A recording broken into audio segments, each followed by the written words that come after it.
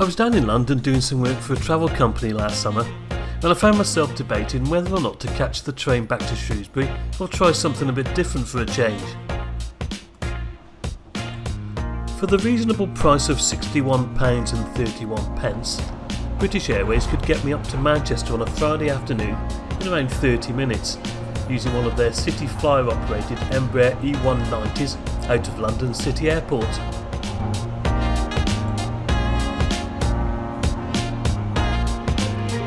So here I was, taking the Docklands Light Railway out to LCY. Now obviously there's no point in going on the DLR unless you can get in the front seat. Where else in the UK can you pretend you're driving the train? It's one of my favourite things to do when travelling around the capital.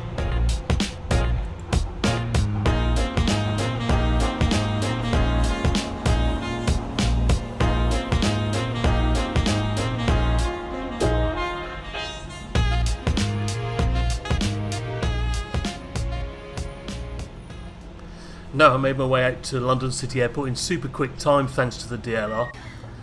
And when I got there, it was pretty quick to get straight from the station into the terminal building, through security, and find myself a seat.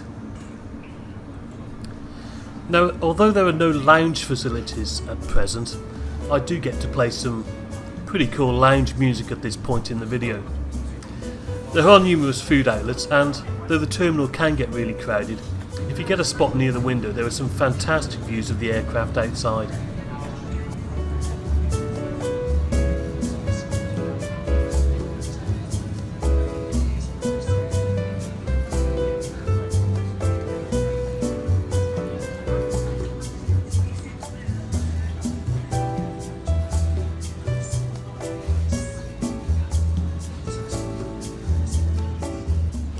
London City Airport was completed in 1987. It has a single short 1508 metre runway, and aircraft mainly tend to be limited to the usual turboprops and the smaller Embraer mid-range airliners. Do you know of any unusual aircraft that regularly use LCY? Let me know in the comments if you do.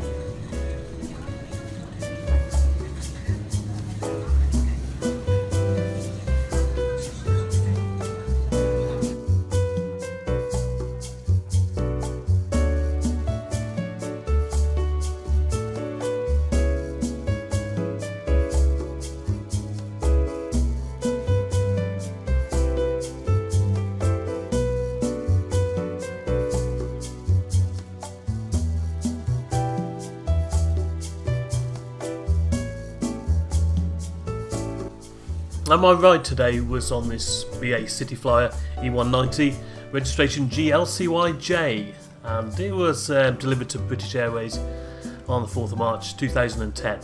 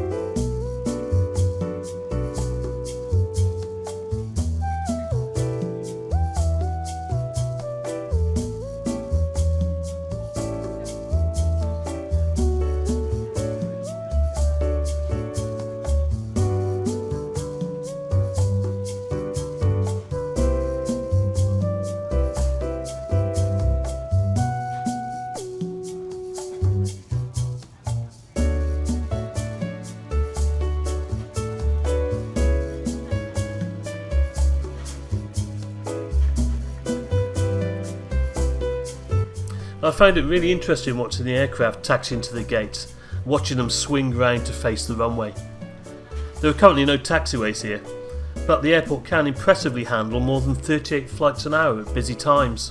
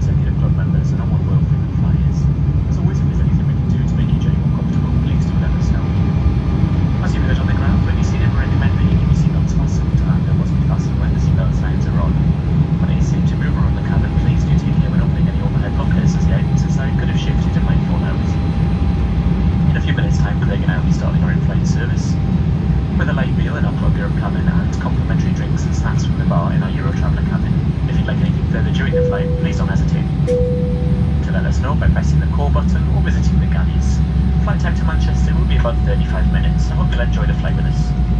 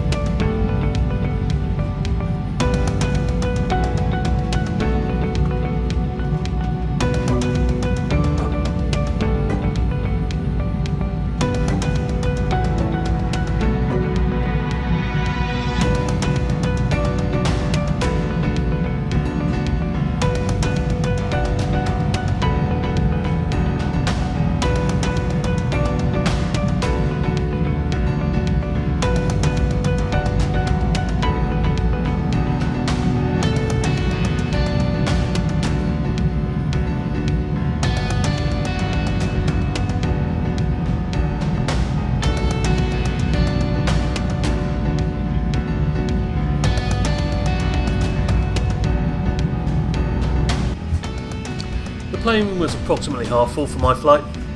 I found the cabin reasonably comfortable, and legroom was perfectly sufficient for me.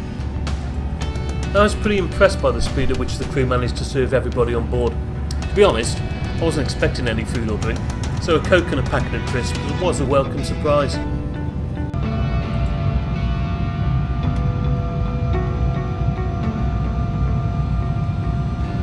Before I knew it, we were beginning the descent into Manchester. A very comfortable and quick flight indeed.